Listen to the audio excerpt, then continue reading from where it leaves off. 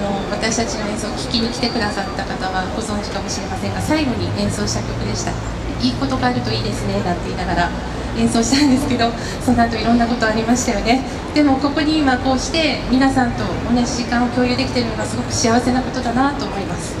で、えっと、それであのこういう場を設けてくださったあのジャズフェスの実行委員会の方たちにもとても感謝しております。でジャズフェスは皆様の募金によって成り立っておりまして募金をしていただくとこのガンザいただけるんですけれども持ってる方いらっしゃいますか？あ持ってますね。で次にやる曲が「ブルーボッサ」という曲なんですけれどもちょうどガンザを鳴らしていただくのにちょうどいい曲だと思うのでそれを鳴らしながら参加して聴いてください。お願いします。